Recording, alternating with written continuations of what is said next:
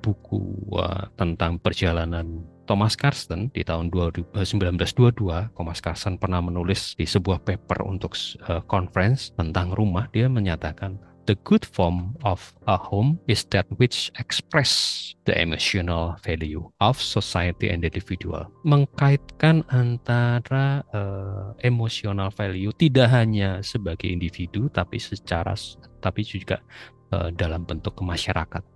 Mungkin menjadi catatan cukup menarik dia melihat bangunan, terutama home, baik Sobokarti maupun Kampung Melaten.